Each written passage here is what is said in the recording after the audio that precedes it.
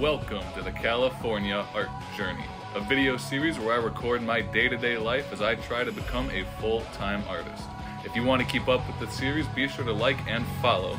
And as always, thanks for your time. Alright, so we're going to start by assembling the mold on one of our plates. Once the mold is all together, we can go ahead and add some clear frit and a little bit of Dichro. Now this puzzle piece, I want it to be completely clear and we're not going to have any color except for the dichroic glass. So I'm going to add some clear frit onto the top and fill it almost all the way up. I'm also going to do the same design on this piece here except with the dark blue color. And this light blue color here, I'm going to do a special experiment on and I'll show you the results in the next video. So now I just got to put the pieces into the kiln. I made sure that they're all level and ready to go.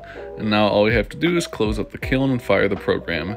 If you guys want to see the results, be sure to like and follow. And as always, my friends, thanks for your time.